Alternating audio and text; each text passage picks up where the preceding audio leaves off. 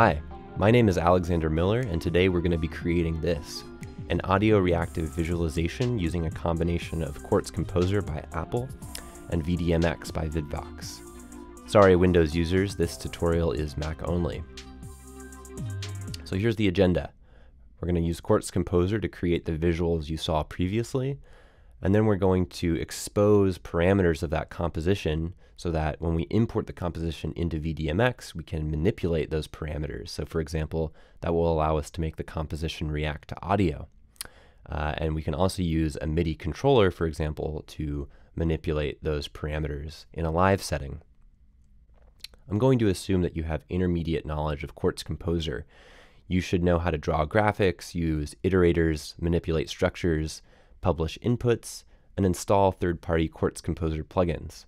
If you don't feel comfortable with any of these topics, then I recommend you go watch Rob Duarte's excellent video series, which is linked below.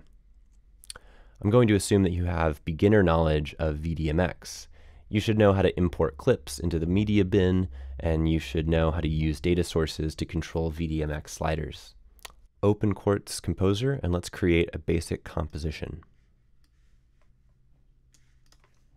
Now, our first goal is to find a way to generate a set of points in 3D space that are randomly distributed, and we want those points to vary their positions smoothly over time. So if we search for random in our library, there's lots of different options here. We have a random generator. That's not quite right because that generates a random image with random pixels. We have this random patch, which might look promising initially, but it's not quite right either. It generates a random value that varies over time, but it's only a single random value and it jumps around a lot. It doesn't vary smoothly. We have this noise patch, which also looks promising. It allows you to specify an X and Y input and it generates a random result based on those inputs. And that result does vary smoothly over changes in X and Y. We can actually change the numbers of dimensions to three dimensions. This is kind of backwards from what we want. We want to generate a list of x, y, z values that are randomly distributed. And this has x, y, z as, as inputs. So let's not use that. What we're actually going to be using is a third-party patch by 1024. In order to get this patch, you should download the 1024 Structure Tools plugin. I'll provide a link to this page in the video description below. Once you have that plugin, search for Perlin in your library and drag out the 1024 Perlin noise patch.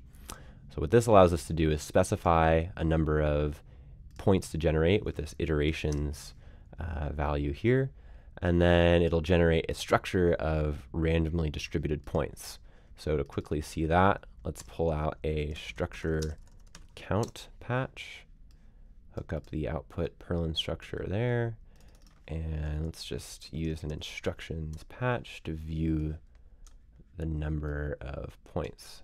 So you can see as we change the iterations, uh, we get a different number of points, and we can actually see what those points are by hovering over the Perlin structure output. And we can see that there's a list of substructures that contain X, Y, Z keys, uh, and we have these X, Y, Z values that are changing smoothly over time. Cool. So let's actually see uh, what those XYZ coordinates look like. In order to do that, we're going to need to loop over this structure using an iterator. So let's create an iterator macro patch, double click on the iterator to go inside the macro patch, and then the first thing we always use with an iterator is this iterator variables patch. Uh, so if we're going to be looping over the structure uh, and grabbing each point out of the structure, we need to use a structure index member patch. So the current index will be passed in as the, the index of the point we're grabbing. And then we need to pass in this Perlin structure as the, the structure here. So how do we do that? Well, we right click on this patch and we publish the input. And you can see that the input turns green to indicate that it's published. And now it's exposed in this iterator patch. And so we can drag in the Perlin structure. We can send in the Perlin structure here. Great. So now the output of this member uh, will be a single point that has x, y, and z keys, and we need to extract the values for those x, y, z keys. So in order to do that, we're going to use the structure key member patch. So drag this out here. The structure here is going to be a single point. And then, for example, to get the x value from that point, we're going to set the key to x. Make sure you use a capital X here. And then we'll option drag to create more of these structure key members for y and for z. And just for clarity's sake, you can rename these x, y, and z to keep things organized. So now we need to hook up the point structure there. And the output of these member output should be the actual XYZ values. So to quickly see that, let's use a sphere patch. We'll decrease the diameter to make things more visible, and we'll hook up the XYZ values like that. And now you can see we've got these spheres swirling around. Cool. But why are they all clustered in the upper right hand corner? Well, if we go to this Perlin noise patch and we look at the, the min and max values, uh, you can see that these XYZ coordinates are being constrained within between 0 and 1. And so if you know about the Quartz Composer coordinate scheme, then that means that it's going to be all clustered in the upper right hand corner like that. So to quickly fix this, we can just set the minimum to negative 1. So now the x, y, z coordinates are constrained between negative 1 and 1. If we want to see more spheres swirling around, we can uh, change the number of iterations here. And I've actually, I've actually already changed it to 100 iterations, but it doesn't really look like there's 100 spheres on the screen. Well, that's because the iterations input here is still set to 10. So we can go ahead and change that to 100 and we see a lot more spheres.